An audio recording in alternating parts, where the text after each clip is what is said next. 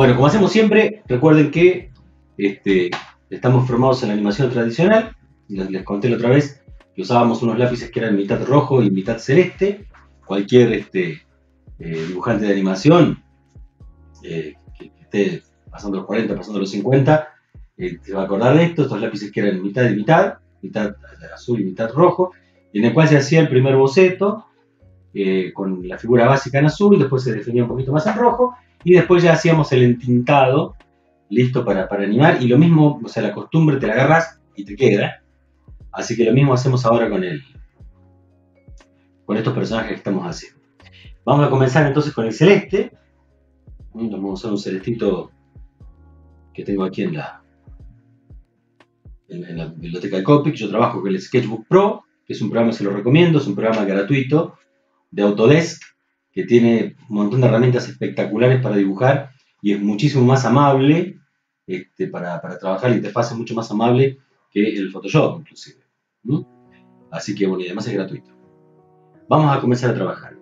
Vamos a partir, primero que nada, hay algo que es súper importante, que es trazar un eje. O sea, vamos a trazar un eje vertical. Este eje nos va a ayudar a que se haga lo que se llama el plantado de figura. El plantado de figura hace que nosotros tenemos que simular que nuestra, que nuestra figura, que es bidimensional, es tridimensional, o sea, sea tridimensional. O sea, dentro del plano la tenemos que ubicar en el espacio. Entonces, lo primero que vamos a hacer es trazar un eje para que nuestra figura esté asentada en el piso. Y a partir de acá vamos a comenzar a dibujar. Este, los cavernícolas, y acá empezamos a trabajar con el tema diseño. Los cavernícolas por lo general vieron que se lo asocia con, con, seres que están en la mitad de la evolución. O sea, entre lo que es supuestamente eh, el mono, el cual evolucionamos, y digo evolucionamos este, entre comillas, porque realmente, viendo tantas cosas, no estoy tan seguro que hayamos evolucionado. Pero bueno, entonces lo que vamos a hacer es trabajar con una figura curva como si estuviese inclinado hacia adelante. A veces en esto no son figuras geométricas en rigor, pero sí figuras que se asocian con elementos conocidos. Y eso nos ayuda mucho a que podamos retener eh, el, proceso, digamos, cómo lo vamos a hacer. Por ejemplo, para hacer la cabecita de este, de este cavernícola, vamos a hacer esta figura que parece, digamos, casi una pera. ¿Ven? Y si se fijan, inclusive la vamos a poner un poquito más abajo. Si se fijan, este, está un poquito más este, hacia adelante de lo normal. porque Justamente porque el cavernícola está inclinado. ¿sí? Luego de esto vamos a trazar un pequeño círculo un óvalo. Y en esto vamos a hacer dos pequeñas figuras, fíjense así, como si fueran las piernitas de nuestro cavernícola. A ver si cansó el Spotify. ¿Qué pasó? No, ahí está. A ver si tarda un poco. Entonces, ven, aquí tenemos las piernitas. Hay algo que tienen que tener en cuenta siempre, que está buenísimo saberlo, y que esto es muy útil. Siempre, eh, todos los personajes que dibujemos, en lo que hablamos recién del plantado de figura, tienen que estar parados en un óvalo. Yo solo voy a marcar. ¿Qué quiere decir esto? Que un óvalo es una figura que está en un plano tridimensional. O sea, está muy mal lo que se hace muchas veces, que es dibujar, sumado que estas son las piernitas del personaje, dibujar los piecitos ahí. Porque ese personaje, el único que podía caminar así era Charles Chaplin, ¿sí? Y más o menos. Un personaje que está parado así, sobre un plano recto, sobre una recta, por lo general se va a caer. Y lo que nosotros tenemos que hacer, recuerden que hablamos al principio, es eh, hacer que esté parado sobre un plano tridimensional. Entonces, aquí ya vamos a tener un óvalo que va a ser donde está parado y vamos a trazarle otras pequeñas elipses, su óvalo, como quieran llamarle, para el lugar donde van a estar ubicadas las patitas. ¿Mm? Ahora bien, ¿se acuerdan que hablamos de los ejes? Bueno, los ejes también son muy útiles en el resto de la figura. En el caso de la carita, tenemos estos dos ejes que nos van a mostrar dónde van ubicados, por ejemplo, los ojos. Vamos a hacer dos pequeños círculos que no tienen por qué ser parejos. Recuerden que un cavernícola es un bicho desalineado, ¿eh? es un hombre desalineado, muy este, desarreglado. Entonces puede que no tenga los dos ojitos iguales y queda bien. ¿sí? Estas cosas le dan carácter al dibujo. Y después, como son que asociamos a los cavernícolas, yo no sé si eran así, pero siempre se los asocia con una figura fuerte, ¿no? Que debían ser, porque tenían que subsistir en un ámbito bastante difícil. Entonces, miren, vamos a trazar una figura así. Para lo que es la manito. Y hay algo que es muy característico, que por lo menos se ha adoptado en el, tema de las, de las caricaturas. ¿sí? Yo soy un poquito veterano, o sea que yo me crié con las caricaturas de, de Hanna-Barbera, ¿eh? De los Looney Tunes y qué sé yo. Y ahí siempre que se hacía un cavernícola, se lo dibujaba con un enorme este, garrote, ¿eh? como el, el, ancho de basto, el truco, en la mano. ¿sí? ¿Se acuerdan inclusive había como una, una cosa que hoy por hoy sería políticamente incorrecto? ¿Se acuerdan que la, se mostraba siempre que la forma de enamorar de los cavernícolas era darle un palo en la cabeza a la, señora cavernícola y llevársela de los pelos a la, a la, a la caverna y ya está, eso era el, ritual de matrimonio que tenía. ¿sí? Hoy no se puede decir una cosa así, con razón, por supuesto. ¿Mm? Bueno, y a partir de acá ya vamos a empezar, ya tenemos más o menos trazado el, vamos a ubicarle la nariz, vamos a ubicarle la boca, es un cavernícola muy simpático este, ¿ya? Me van siguiendo ahí, cualquier cosa me preguntan que a mí me avisan. Y acá ya con esto tenemos, fíjense que para que lo vean, tenemos, el centro del cuerpo del cavernícola y la espaldita vendría por acá atrás. Fíjense, acuérdense que tenemos que hacer que sea tridimensional. Una vez que tenemos esto hecho, vamos a, lo que les decía recién, bajarle un poquito la opacidad de la capa y vamos a trabajar ya con el rojo. Vamos a tomar el color rojo y vamos a comenzar a hacer los detalles del cavernícola. Vamos a comenzar por los ojos. Lo voy a emplear un poquito para que lo vean. Fíjense que hay algo muy importante que es el arco superciliar. El arco superciliar es donde están ubicadas las cejas en la cara. En la parte de arriba sería de las cuencas del cráneo. Y los cavernícolas, como supuestamente todavía no estaban del todo evolucionados en, los hombres como somos hoy, este, eh, tenían un arco superciliar muy pronunciado, muy similar al que tenían los simios. Entonces, vamos a trazar un arco superciliar, miren, ¿eh? un poquito más grande, como salido hacia afuera. Y le vamos a poner los ojitos allí.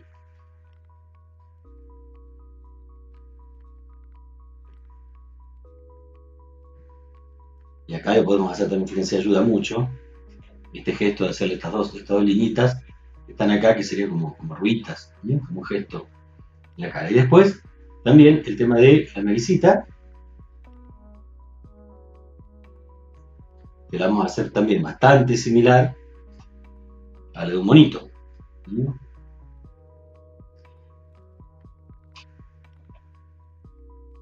Fíjense cómo vamos trabajando sobre las mismas figuras que trazamos. Otro detalle importante son las orejas.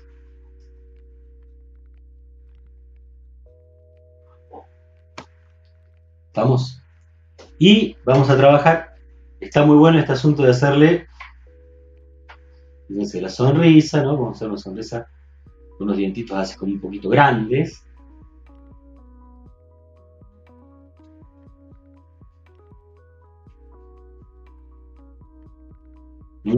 Y acá viene un detalle muy, pero muy lindo, que es tirarle, digamos, la mandíbula inferior ligeramente hacia afuera. Eso le da un aspecto más salvaje, más bestial. Y acá comenzamos a trabajar con algunas liñitas sueltas para hacer. Ahora son tipos muy peludos. ¿Mm? A lo mejor le podemos hacer también, miren, una, una cejita, una sola, ¿no? bien hirsuta.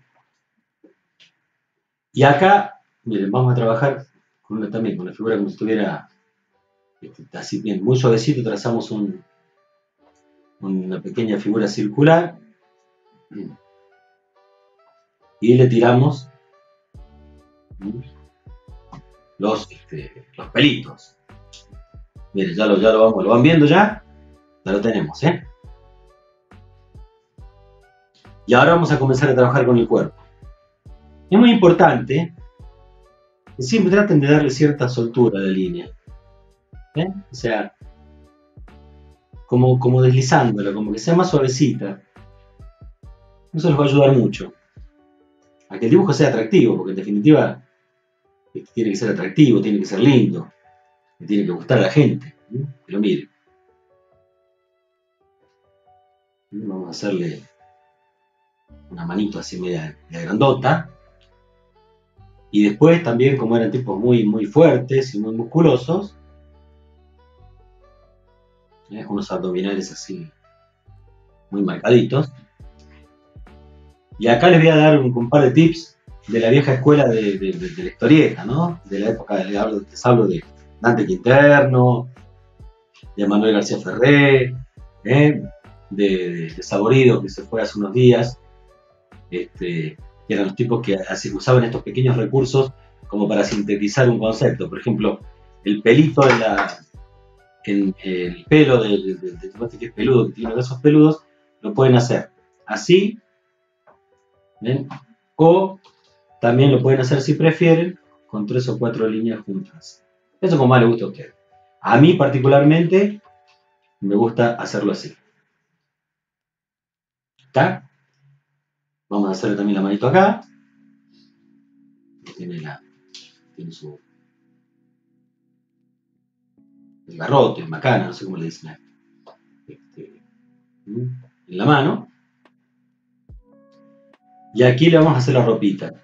Recuerden que esta gente se vestía cuando no andaba desnudo, desnudo por una cuestión de no lo podemos hacer, pero eh, tenía una ropita así como que hecha con cuero de animales y ese tipo de cosas, ¿no? Que no que casar. Entonces, bueno, este, vamos a hacer una, cosa como media caricaturizada, al estilo, ¿se acuerdan los, picapiedras, no? Y ahí le podemos agregar unas manchitas. ¿Está? Y acá ya vamos a comenzar a trabajar con las piernitas y los piecitos del personaje. Vamos a trabajar con figuras muy muy simples. Fíjense.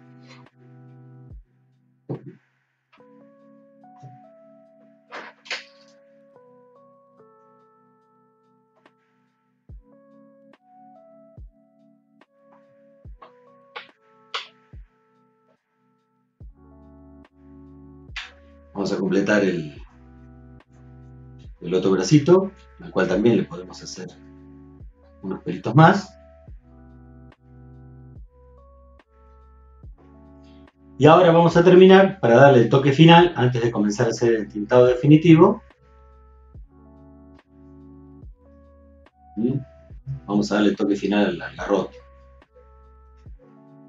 Y esto era, digamos, normalmente yo calculo que lo darían con piedras o con a lo mejor con el hueso de un animal. Yo prefiero siempre hacerlo como si fuera una plantita, ¿no? Entonces, por lo general, lo que me gusta ponerle es como si fuera una rama sacada de un árbol, entonces me gusta ponerle una, una ramita más con una hojita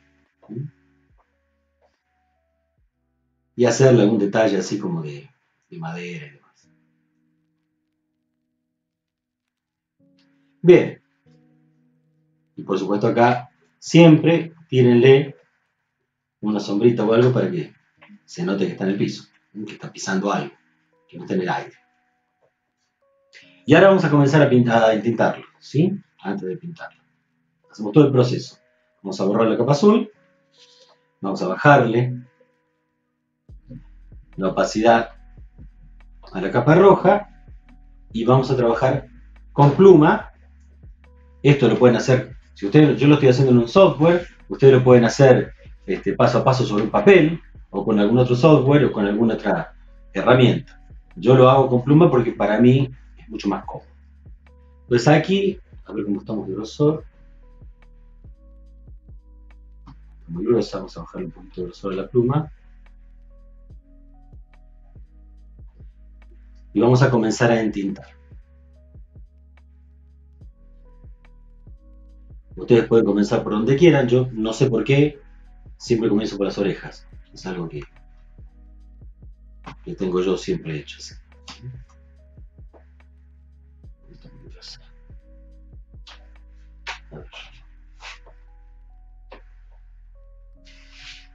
Estos control Z que uno hace son parte del proceso también, ¿no?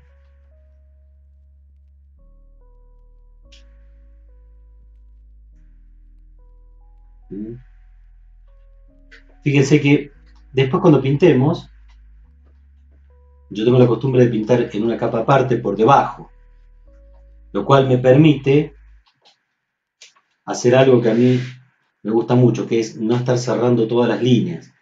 Hay otros programas donde uno trabaja, digamos, con un bote de pintura, que se, se llama la herramienta. Este, y lo haces, eh, lo tenés que tener todas las líneas cerradas, porque si no, el bote de pintura lo, lo. En cambio acá, me permite mucha más soltura.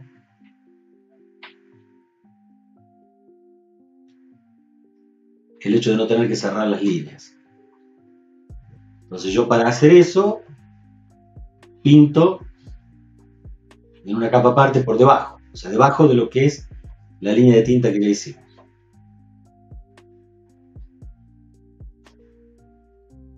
Esto que yo hago de dar vuelta a la imagen, también lo pueden hacer si están trabajando en papel, ¿eh? como dar vuelta a la hoja.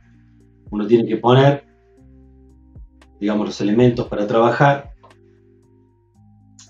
como les sea más cómodos.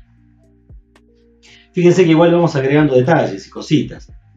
Como les dije en el tutorial anterior, cada vez que uno hace este proceso, este, de una forma u otra lo va redibujando al trabajo. Entonces, uno hace este. Eh, esto hace que el dibujo se enriquezca. yo acá tengo línea cerrada, entonces ahí ya sí puedo usar un bote de pintura. No soy muy afecto yo al bote de pintura porque me parece que le quita un poco de expresión al trabajo. Pero en algunos casos como en este, es muy útil. Fíjense que acá eh, trabajamos con la con los pelitos. La pluma me permite cambiar el grosor de la línea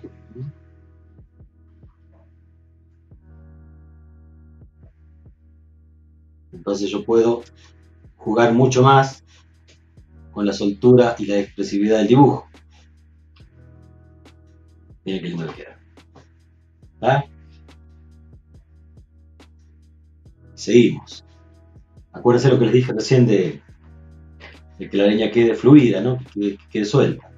Lo que vamos a hacer aquí, miren. tiramos lo posible, una línea más larga. No me gusta cómo quedó, lo vuelvo a hacer. Lo mismo aquí.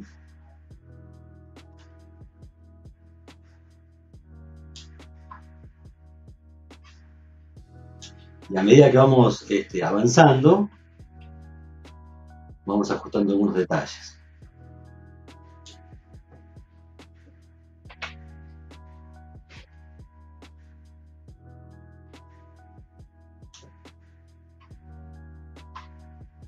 Entonces, no, no, no, no, se hace una idea lo liberador que es para mí no tener que estar este, cerrando las líneas. Es, un, espanto. A veces cuando me toca, sobre todo cuando estoy haciendo animación, que a veces tengo que, volver hacia atrás en el proceso, me molesta muchísimo. Me desconcentra mucho y me quita, digamos, la, la continuidad del trabajo, que a veces es muy importante. Yo, las líneas no están cerradas. Voy armando cosas, le voy, dando soltura al dibujo. Hace que quede muy bonito.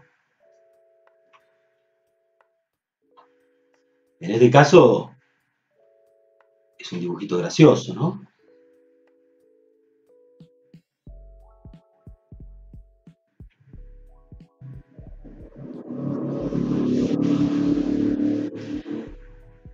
Si por ahí voy muy rápido, todo, recuerden que después este, en el canal de YouTube se pueden suscribir y volver a verlo. No los voy a dejar más acá en el IGTV. Este, lo hacer en vivo y después los voy a pasar al canal de YouTube. ¿Mm?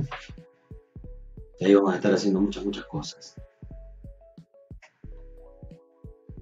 Y recuerden, hablando del canal de YouTube, que este, tienen que suscribirse para participar en el concurso, en el sorteo, mejor dicho, este, celebrando los primeros 600 seguidores en Instagram. Vamos a sortear el día 21 a las 19 horas en vivo por Instagram con la presentación in person de Tucci Nevesi. Vamos a ver si lo podemos este, adiestrar para que saque el papelito ganador. Si como no les ponga algo de comer, no me van a dar bola. Ahí tenemos la, la sombrita del piso también. Y vamos a trabajar ahora ya con el garrote. ¿Ven? Yo acá lo que le hice fue, ¿vieron esos nuditos que saben tener los árboles? Pero bueno, qué lindo.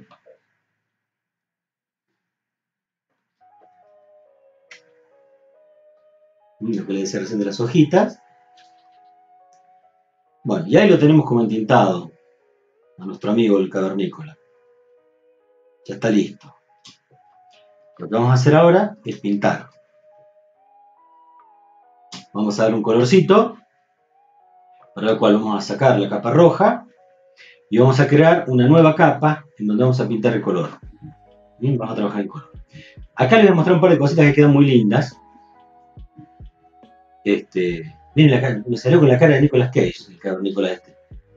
Fíjense, en serio, ¿eh? Mirá vos, estuve mirando en, en, ah, no, en Amazon no, en Wish, que vendían unas pantalones, unas calzas con la cara de Nicolas Cage, que me las pidió mi señora de regalo, entonces digo, se las voy a, se voy a regalar para San Valentín, así que, que por eso me ha quedado la cara de, de Nicolas Cage incorporada, acá tiene la cara de Nicolas Cage en el cabrón.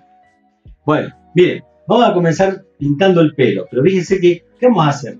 Es importante que el dibujo siempre tenga la, mayor simpleza posible, digamos, que, sea capaz de resumir eh, lo que queremos contar en la mayor simpleza posible. En este caso, si tuviéramos que pintar todos esos pelos, a lo mejor quedaría un poquito como, como engorroso, ¿sí?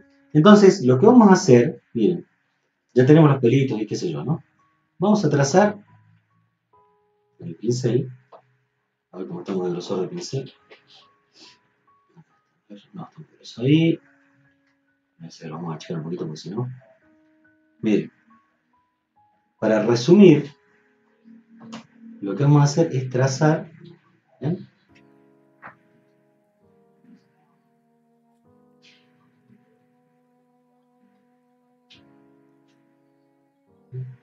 La pintura de la pelambre del cavernícola. Fíjense qué lindo efecto. Esto es un recurso bastante antiguo, pero que queda muy, pero muy lindo. A mí me gusta mucho. Si ustedes se fijan, por ejemplo, en los backgrounds, en los fondos de, la vieja serie de La Pantera Rosa, o de alguna época de, los Looney Tunes, sobre todo en la de Chuck Jones, hay recursos de este tipo. ¿sí? Y lo mismo con el tema de la barba. Fíjense acá, para diferenciar también lo que es el pelo de la barba, vamos a hacer una pequeña pintura en medio de las líneas, ¿ven? Y a pesar de que quedan espacios en blanco, queda muy bien. Miren qué lindo queda. ¿Está? Si quieren también, después, con una línea un poquito más fina, pueden tirar así unos, como unos pelitos que van, que van saliendo, ya directamente con el color, no con el, no con la línea, digamos, sino con el color. Y eso ayuda mucho a que el personaje gane en soltura.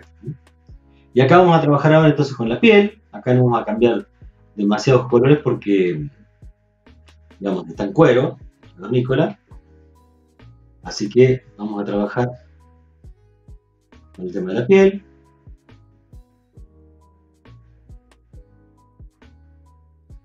No sé si me siguen, espero que sí. Recuerden que si no lo pueden ver, eh, ahora o no pueden seguirlo, este, porque se les hace un poquito más difícil, eh, lo pueden ver dentro de, o sea, pasado mañana va a estar colgado en el canal de YouTube que se llama, igual que la página, Coach Ilustrador, y en donde vamos a colgar todos estos tutoriales para aquellos que no pudieron, no pudieron verlo en su momento y lo puedan disfrutar y lo puedan practicar. Además, para que puedan, digamos, esto de dibujo pues, es práctica permanente, ¿no? Para que puedan ir practicándolo. Miren, ahí me quedó abierto una línea, ¿ven? Creo que le decía el bote de pintura. Lo pueden ir haciendo paso a paso.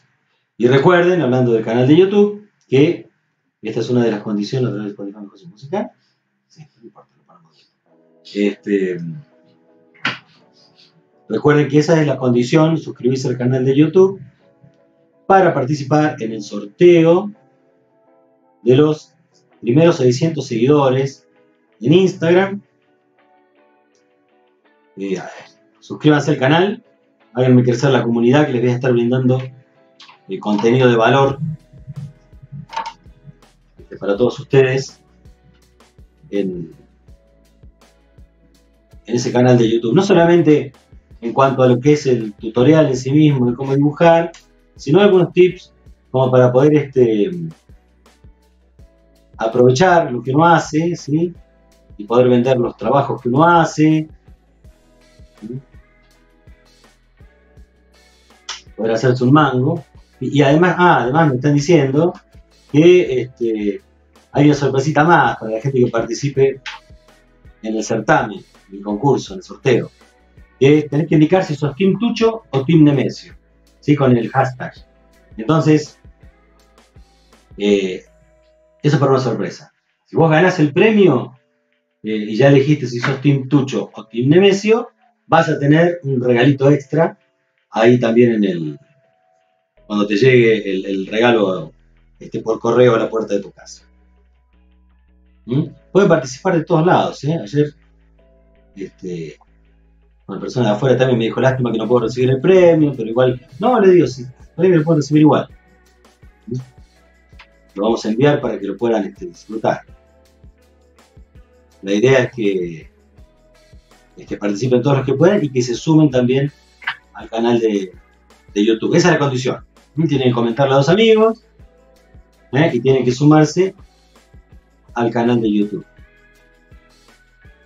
Donde vamos a estar, como les dije, poniendo contenido de valor, cosas buenas, no solamente en cuanto al dibujo, sino también unos recursos que, está bueno saber. ¿sí? Bueno, fíjense que ya lo tenemos casi, este, casi terminado. Y como me salió con la cara de Nicolas Cage, este, ¿cómo es? Lo vamos a, vamos a pintar los ojitos celeste. ¿no? y después, bueno, si ustedes quieren también como para darle un poquito más de valor al dibujo, le, hacen con un color un poquitito más oscuro, en algunas partes. Bajarle la saturación. Tiramos una pequeña sombrita.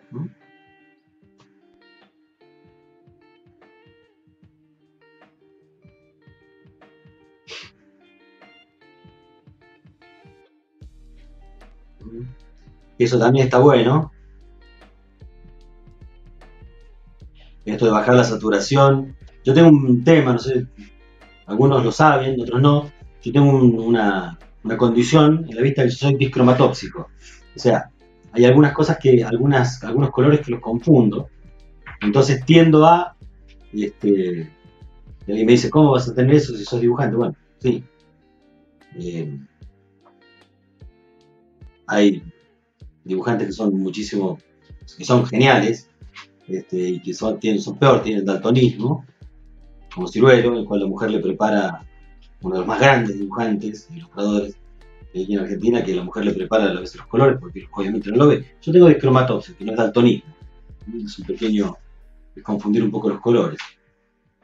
Este, entonces yo suelo pintar todo muy, muy colorinche. ¿viste? Por la duda si le erro, este, a no quedarme corto le pongo un poquito más. Pero así todo a veces me tiene que estar marcando que, el color está mal. Y finalmente, bueno, vamos a pintar la ropita. Vamos a hacer un homenaje a los queridos dibujos de Hanna Barbera. Es una cosa similar al color de la ropita de Don Pedro Picapiedra. No era este amarillo, pero bueno, es parecido.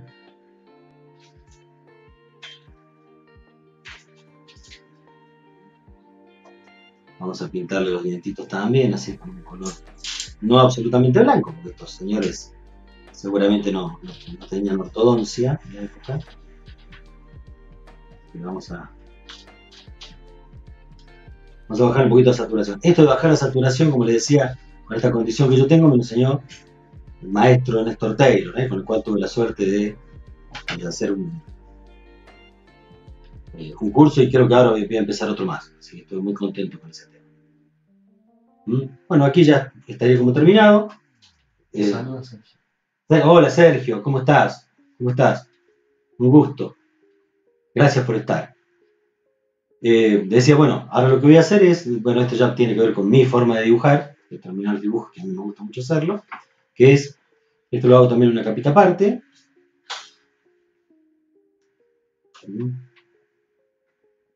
que es tirarle una, un pequeño rectángulo, si se quiere, que yo lo, pinto de color, a ver qué color le voy a dar ahora, mm, y bueno, vamos a ver, mucho pintar yo soy muy del azul, habrán visto me transparente nada, pero lo vamos a pintar con el pincel para que no nos, nos encontremos con sorpresas. Mm, vamos a hacerle un, recuadrito.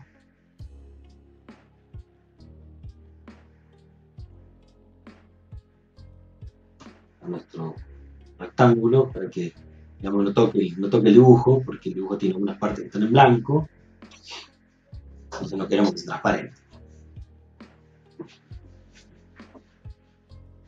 Fíjense que es un dibujo muy simple, ¿no? Y lo fuimos haciendo paso a paso y ya vieron que no es tan difícil. O sea, queda bonito. La cuestión es encontrarle la forma de, que el dibujo sea gracioso, de que se vea lindo y que el, espectador lo disfrute cuando lo vea.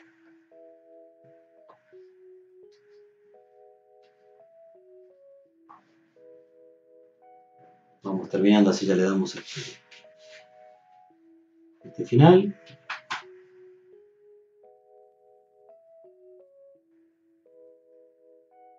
Bueno, y ahí ya lo tenemos, vamos a completarle acá. y le vamos a poner la firma. Aquí en Luna y Luna Estudiar es Only Original.